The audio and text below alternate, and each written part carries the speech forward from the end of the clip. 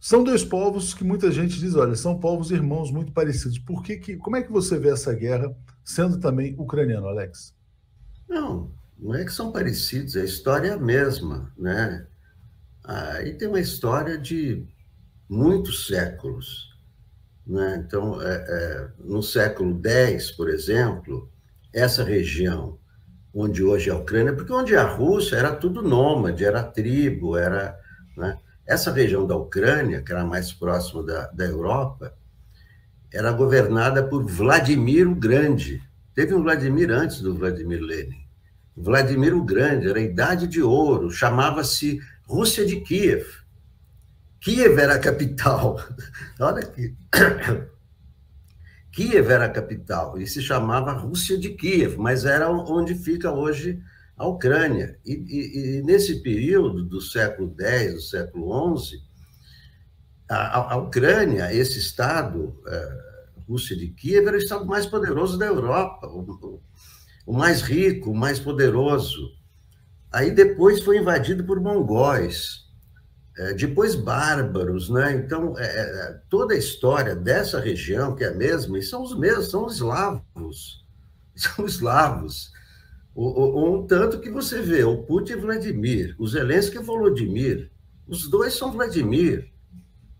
É o mesmo nome, é o nome mais popular, né? por causa do Lenin, mas por causa do Vladimir o Grande. Então, toda a história ali dessa, dessa região é história de lutas sangrentas, é história de não se render, é história de lutar até o fim. E é por isso que é, a gente está vendo isso o Putin atacando, outro diz não, não me rendo, porque eles são muito parecidos. Não tem ali ninguém covarde, ninguém vai dizer. Tanto que você vê o, o, o Zelensky, ah, humorista, comediante, ele vai fugir do país. Não, ele não foge, ele fica lá. Então são muito parecidos. O DNA é o mesmo. E por ser o mesmo DNA, é que não há nenhum sinal de que essa guerra acabe logo, né? Porque o Putin sabe que é mais forte, sabe que a Rússia é mais forte, né? ele sabe qual é o seu objetivo, ele não vai parar no meio antes de impor uma derrota fragorosa, né? sendo que ele é o mais forte. Você vê esse vídeo, é, esse nacionalismo, tanto o nacionalismo da Rússia como o nacionalismo da Ucrânia. E é engraçado que um nacionalismo contra o outro, quando são, é, é, é Caim e Abel, é Caim e Abel essa, essa, é, essa, essa história que nós estamos assistindo. Então, um, que é o Putin, não tem motivo para dizer assim, ah, vamos parar agora e tal. Não, ele vai até o fim. O Zelensky sabe que a Ucrânia é mais fraca, mas também não vai se render antes que seja completamente destruído. E para destruir demora. A invasão, ah, a invasão dos alemães em 1941, que também Claro, começou em Kiev, porque vem antes, né? Moscou está lá em cima, Kiev vem antes.